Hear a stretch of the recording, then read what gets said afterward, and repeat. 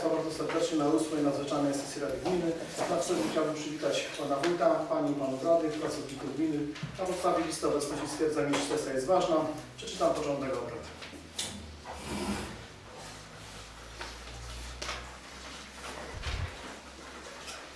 Punkt pierwszy porządku obrad, otwarcie obrad i stwierdzenie kworum, co też zrobiłem. Punkt drugi, przedstawienie porządku obrad. Punkt trzeci, podjęcie uchwał w sprawach. Punkt pierwszy, programu opieki nad zwierzętami bezdomnymi oraz zapobiegania bezdomności zwierząt na terenie gminy Budziszewice w 2024 roku. Punkt drugi, odpowiedzi na proces wyborczy. Punkt czwarty, zakończenie obrad. Kto z Pani, Panów Radnych za przyjęciem takiego porządku obrad, proszę o podniesienie ręki do góry. Kto jest przeciwny, to się wstrzymał. Dziękuję. Przechodzimy do podpunktu pierwszego, czyli programu opieki nad zwierzętami bezdomnymi oraz zapobiegania bezdomności zwierząt na terenie gminy Budziszewce. Spraw.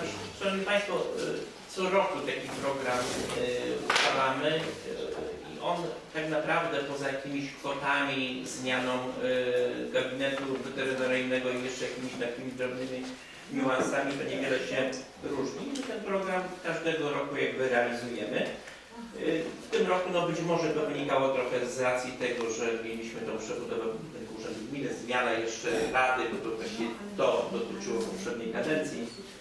Uchwalenie y, no spowodowało, że... A i jeszcze jedna bardzo istotna rzecz. y, Coraz trudniej znaleźć gabinet weterynaryjny, który by się chciał podjąć y, sprawowania opieki nad tymi rannymi zwierzętami. Z tą panią weterynarz, którą mieliśmy poprzednio umowę, no nie chciała tutaj dzisiaj, że tak powiem, przedłużać tej umowy. No w ogóle generalnie na, na rynku lekarzy weterynarii jest pewien problem. To też spowodowało, że szukaliśmy nowego gabinetu, no ale niemniej mm, ten program mieliśmy przygotowany. E, Wysłaliśmy do zaopiniowania do różnych e, instytucji, które muszą to zaopiniować. No i dzień po tej naszej poprzedniej sesji opinia, ta ostatnia, na którą czekaliśmy z Towarzystwa Opieki nad Zwierzętami przyszła, także no, dopełniliśmy wszystkich wymogów, mogliśmy praktycznie na drugi dzień po tej poprzedniej sesji zrównać sesję, żeby to uchwalić, no niemniej nie, nie, nie było takiej bardzo potrzeby. Państwo dostaliście wszystko chyba tam, co jest istotne, jest w nim zapisane i jeżeli byłaby taka potrzeba, to Panią Paulinę Przybyłek poproszę, no i ewentualnie tutaj dojdzie, bo, bo, bo ona jest, że, że tak powiem, za się. Czy jakieś pytania do tej kwestii? Jeśli nie ma pytań, przeczytam treść uchwały. Uchwała Rady Gminy Budziszewice z dnia 30 października 2024 roku w sprawie programu opieki nad bezdomnymi zwierzętami oraz zapobiegania bezdomności zwierząt na terenie gminy Budziszewice w 2024 roku. Na podstawie artykułu 18 ust. 2 punkt 15 ustawy dnia 8 marca 1990 roku o samorządzie gminnym po uzyskaniu opinii powiatowego lekarza weterynarii w Tomaszowie Mazowieckim, Stowarzyszenia Wolontariackiego, Tropimy Dom oraz Zarządu Wodów Łowieckich działających na obszarze gminy, Rada Gminy Budziszewice uchwala co następuje. Pierwszy. Przyjmuje się program opieki nad zwierzętami bezdomnymi oraz zapobiegania bezdomności zwierząt na terenie gminy Budziszewice w 2024 roku w brzmieniu określonym w załączniku do niniejszej uchwały. Paragraf drugi. Wykonanie uchwały powierza się wójtowi gminy Budziszewice. Paragraf trzeci. Uchwała wchodzi w życie po upływie 14 dni od dnia jej ogłoszenia w Dzienniku Urzędowym Województwa Łódzkiego. Kto z Pani Panów Radnych jest za przyjęciem treści uchwały? Proszę o podniesienie ręki do góry. Kto jest przeciwny? Widzę, kto się wstrzymał. Dziękuję bardzo. Przechodzimy do punktu drugiego. Jest to odpowiedź na protest wyborczy. Bardzo proszę przewodniczącego komisji o przeczytanie Opinię Komisji Rewizyjnej Rady Gminy z dnia 28 października 2024 roku w sprawie protestu wyborczego dotyczącego wyborów sołeckich sołectwa Teodorów złożonego przez Pana. Komisja Rewizyjna przeprowadziła postępowanie wyjaśniające w celu oceny zgodności z prawem odbytych wyborów w sołectwie Teodorów. Swoją opinię i wniosek wypracowała po zapoznaniu się z protestem wyborczym uzyskaniu wyjaśnień pracowników Urzędu Gminy, sekretarza i pracownicy do spraw ewidencji ludności oraz przewodniczącej zebrania wyborczego. Także po, po zapoznaniu się ze statusem sołectwa, przepisami ustawy o samorządzie gminnym dotyczących wyborów sołeckich oraz kodeksu wyborczego dotyczącego Centralnego Rejestru Wyborców oraz protokołami Komisji Skrutacyjnej z ustalenia wyników wyborów sołtysa i Rady Sołeckiej. W dniu 2 października 2024 roku wpłynął do wójta gminy Budziszewice protest wyborczy o stwierdzenie nieważności wyborów sołeckich z sołectwa Teodorów, które odbyły się w dniu 27 września 2024 roku. W dniu 23 października 2024 roku wójt gminy przekazał przedmiotowy protest wyborczy do rozpatrzenia Radzie Gminy, uzasadniając, że kontrola prawidłowości przebiegu wyników wyborów do organów jednostki pomocniczej mieści się w zakresie kompetencji właściwej Rady Gminy. Artykuł y, 18a ust. 1 ustawy o samorządzie gminnym, który upoważnia Radę Gminy do sprawowania kontroli działalności jednostki, jednostek pomocniczych. Ustawa o samorządzie gminnym nie przewiduje instytucji protestu wyborczego przy wyborach organów jednostek pomocniczych gminy. Brak jest również te, takiego umocowania do oceny przez Radę ważności wyborów organów i jednostek pomocniczych w statusie sołectwa Teodorów. Jednakże na podstawie ogólnej normy kompetencyjnej wynikającej z artykułu 18a ustawy o samorządzie gminy kontrola prawidłowości przebiegu i wyników wyborów do organów jednostek pomocniczych niewątpliwie mieści się w zakresie kompetencji Rady Gminy. Wyrok NSA z dnia 3 września 2024 roku 3 OSK 4815 łamane przez 21 Wyrok WSA w Łodzi z dnia 29 maja 2020 roku, sygnatura trzecia SA LD 6 łamane na 20, wyrok WSA we Wrocławiu z 30 września 2008 roku, sygnatura akt 3 SA WR 8 łamane przez 08. Ustalono co następuje. Wnoszący protest na wstępie uzasadnienia swojego protestu poinformował, że w dniu 27 września 2024 roku o godzinie 17.15 rozpoczęły się wybory sołeckie sołectwa Teodorów, którego to sołectwa jest mieszkańcem od ponad 6 lat. Zgodnie z obowiązującym przepisem ja jako zamieszkały na stałe w sołectwie Teodorów gminy Budziewice, powszechnie znany na co dzień, widywany przez sąsiadów, moja żona, teść, listonosz, ujęty za wywóz y, śmieci w deklaracji Adres wskazuje do Urzędu Gminy w Budziszewicach i innych urzędów w powiecie i województwie. Ponadto dzielnicowi z komisariatu policji w Roklicinach, sołtys, sołectwa Teodorów itd. W dalszej części podjęć.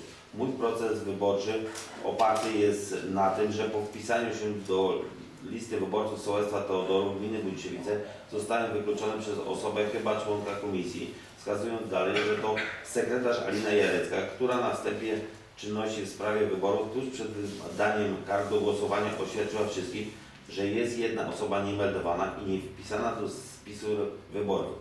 Takie oświadczenie winna wygłosić przewodnicząca komisji i odczytać podstawę prawną, czego nie zrobiła.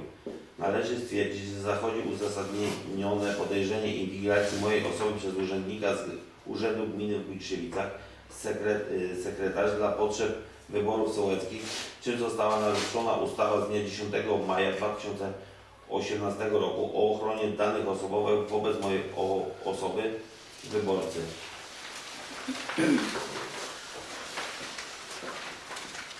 Meldunek trwa około 30 minut. Mógł być dokonany na przykład w dniu wyborów 27 września 2024 roku o godzinie 15 i sekretarz nie miała prawa o tym fakcie wiedzieć na czas wyborów. W dniu 27 września 2024 roku w trakcie wyborów sołeckich żaden dokument nie został odczytany. To jest ustawa, by potwierdzić wyłączenie mojej uchwała, by potwierdzić wyłączenie mojej osoby z udziału, z udziału w głosowaniu na sołtysa do Rady Sołe- i, i do Rady Sołeckiej. W dniu 1 stycznia 2016 roku zmieniły się przepisy dotyczące meldunków w miejscu zamieszkania i obawiam się, że wójt i sekretarz nie są świadomi tego przepisu, ponieważ moim zdaniem w 2016 roku wójt winien stworzyć projekt uchwały, uchwały zmieniającej wcześniejszą uchwałę w tej sprawie, a tego nie zrobił, czym dopuścił się rażącego zaniechania, co ma wpływ na wybory. Ponadto zachodzi podejrzenie celowego, celowego takiego działania przez wójt, przez wójta i sekretarz, ponieważ w poprzednich wyborach na sołtysa i do Rady Sołeckiej w 2019 roku też byłem dyskryminowany przez wójta i sekretarz.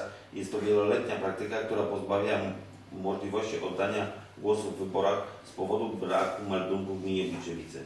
Z uwagi na powyższe wnoszę o stwierdzenie nieważności wyborów, które odbyły się w dniu 27 września 2024 roku w sprawie wyboru sołtysa i Rady Sołeckiej Teodorów.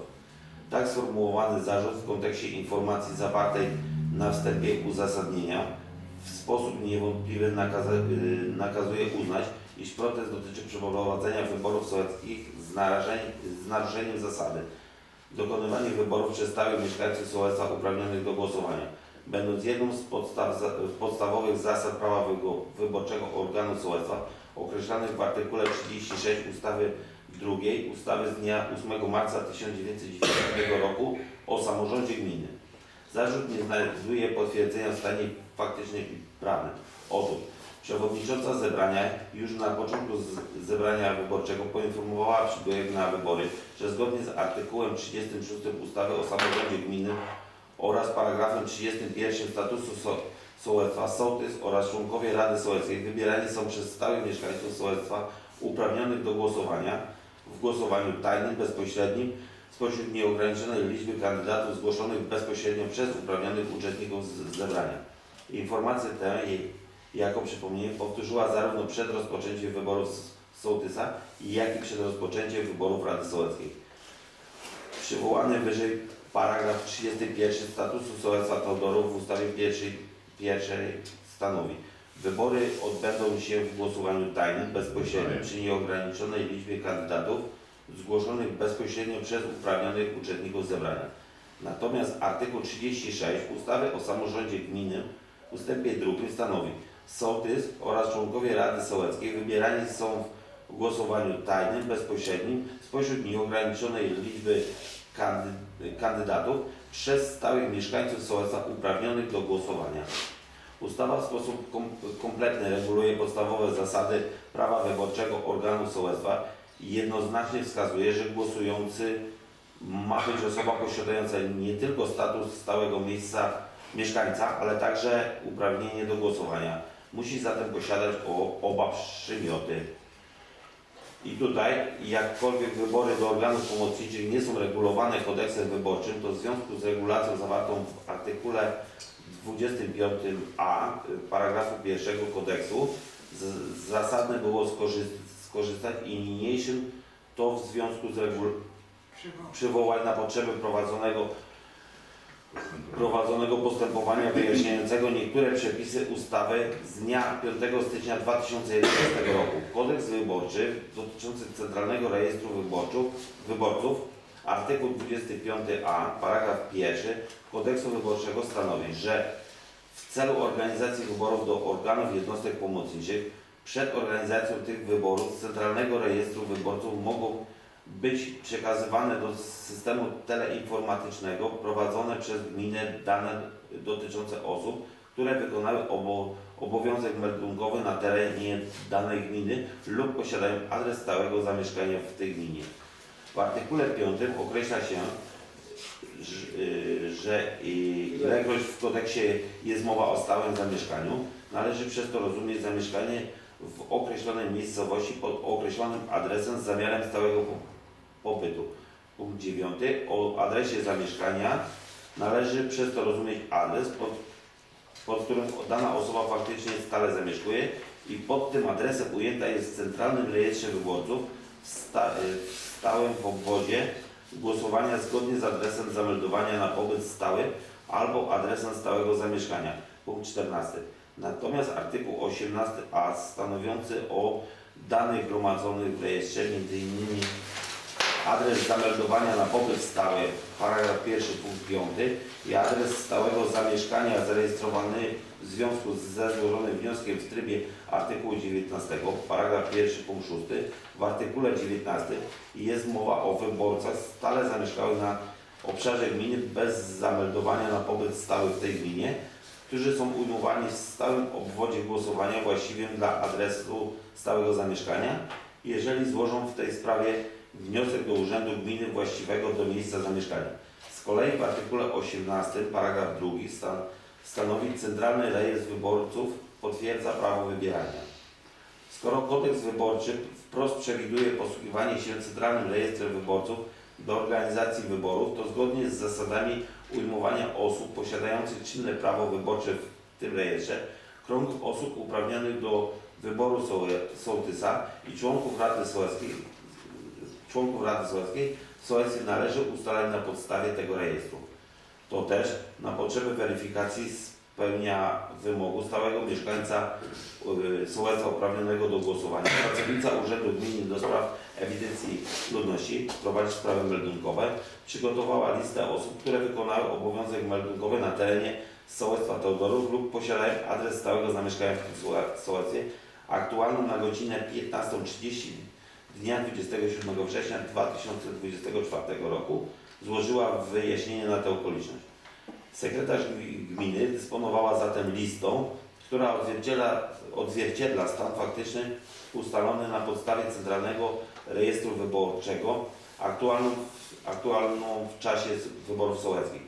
Nie potwierdził się zarzut, jako sekretarz nie miała prawa o tym wiedzieć na czas wyborów. Przybyłe na wybory osoby wpisywane są, y, wpisywały się do przygotowanego druku lista obecności mieszkańców sołectwa Teodorów na zebraniu wyborczym do organów sołectwa w dniu 27 września 2024 roku w sali OSP w Górczewicach. Sekretarz gminy dysponując listą, która, której mowa była wcześniej, wyżej, dokonywała, dokonała weryfikacji dokonała weryfikacji spełnienia wymogu stałego mieszkańca sołectwa uprawnionego do głosowania w stosunku do każdej osoby, która wpisała się do, do druku listy obecności. Ustaliła, że jedna z osób nie posiada statusu stałego mieszkańca uprawnionego do głosowania, jako że nie jest ujęta w Centralnym Rejestrze Wyborczym. Stałe zamieszkanie i wpisanie, wpisanie do tego rejestru są warunkami koniecznymi do skorzystania z uprawnienia do głosowania. Osoba stale zamieszkała, a nie, nie zameldowana, by móc skorzystać z prawa do głosowania, winna dopełnić formalności dopisania się do Centralnego Rejestru Wybor Wyborców. O powyższym poinformowała obecnie przed wydaniem kart do głosowania przez Komisję Skrutacyjną. Sekretarz gminy prowadzi w urzędzie sprawy związane z wyborami, również do organu sołectwa. Na okoliczność podnoszonych zarzutów złożyła wyjaśnienie. Noszący protest nie został wyklu wykluczony czy wyłączony z prawa do głosowania. To, że jak, jako zamieszkały na stałe w sołectwie Teodorów, powszechnie znany, nie dopisał się do, do Centralnego Rejestru Wyborców, by móc głosować w wyborach, pozostaje w gestii jego samego. Nie uczynił tego, w konsekwencji nie spełnił wymogu stałego mieszkańca uprawnionego do głosowania. Tylko osoba ujęta w tym rejestrze posiada bowiem uprawnienie do głosowania. To w gestii mieszkańca stale zamieszkającego pozostaje, czy zadba o ujęcie w Centralnym Rejestrze Wyborców, meldują się na pobyt stały w danej gminie.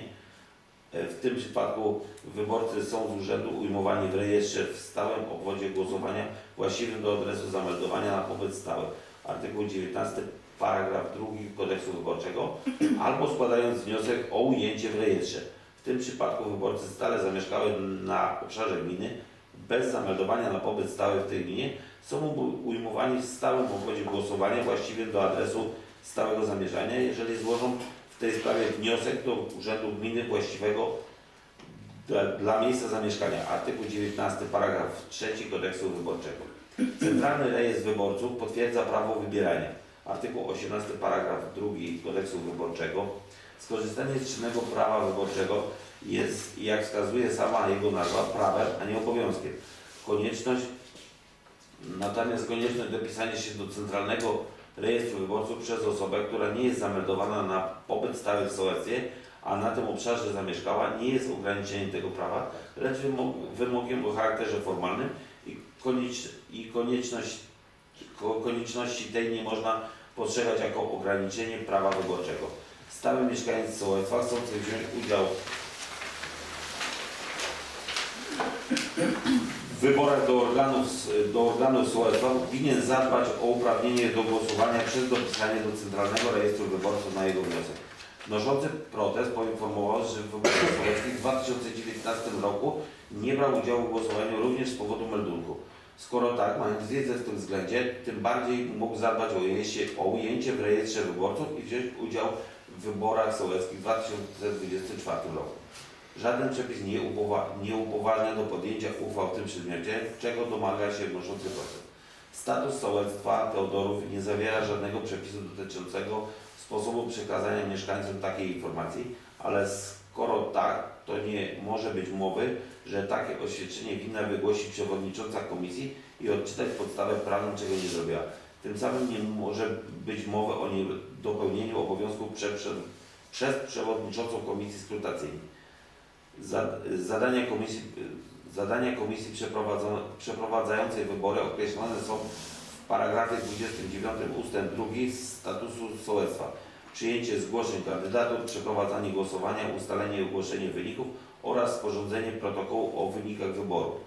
Odnośnie do osoby wnoszącej protest, odnośnie do oceny wnoszącego protest, jakoby działania wójta i sekretarza były celowo, nie znajduje si- się żadnej przesłanki ku temu. Komisja rewizyjna ustaliła również liczba mieszkańców obecnych na zebraniu wyborczym w- 25 według li- listy obecności, do której mieszkańcy się wpisywali osobiście. W tym liczba mieszkańców stałych uprawnionych do, do głosowania 24. W każdym głosowaniu wzięło udział 24 stałych mieszkańców uprawnionych do głosowania. Na sołtysa zgłoszono jednego kandydata, otrzymał 21 głosów ważnie oddanych. Na członków Rady Sołeckiej, zgodnie ze statusem sołectwa, wybierano trzech członków. Zgłoszono trzech kandydatów, otrzymali głosów ważnie oddanych odpowiednio 21, 20 i 19.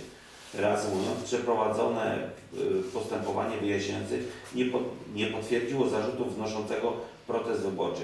Komisja rewizyjna nie dopatrzyła się nieprawidłowości w przeprowadzonych wyborach w sołectwie Teodorów. Komisja rewizyjna uznaje protest za niezasadny i wnosi do Rady Gminy o oddalenie protestu. Dziękuję. Drodzy Państwo, prze- przeczytam treść uchwały.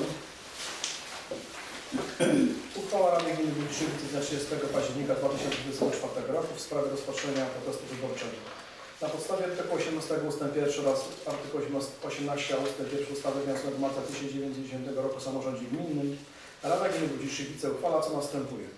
Paragraf pierwszy. Po rozpatrzeniu wniesionego przez Pana protestu wyborczego o stwierdzenie nieważności wyborów organu sołectwa Teodorów, które odbyły się w dniu 27 września 2024 roku, Rada Gminy Budziszewice oddala protest wyborczy, uznając go za niezasadny. Paragraf drugi. Uzasadnienie stanowi załącznik do niniejszej uchwały. Paragraf trzeci. Zobowiązuje się przewodniczącego Rady Gminy Budziszewice do doręczenia niniejszej uchwały wraz z uzasadnieniem wznoszącemu protest. Paragraf czwarty. Uchwała wchodzi w życie z dniem podjęcia. Kto z Pań i Panów Radnych jest za przyjęciem treści uchwały, proszę o podniesienie ręki do góry. Kto jest przeciwny? Kto się wstrzymał? Dziękuję bardzo. To był ostatni punkt naszego dzisiejszego spotkania. Yy, Dziękuję wszystkim Państwu za przybycie. Uważam sesję za zamkniętą. Dziękuję bardzo. Dziękuję.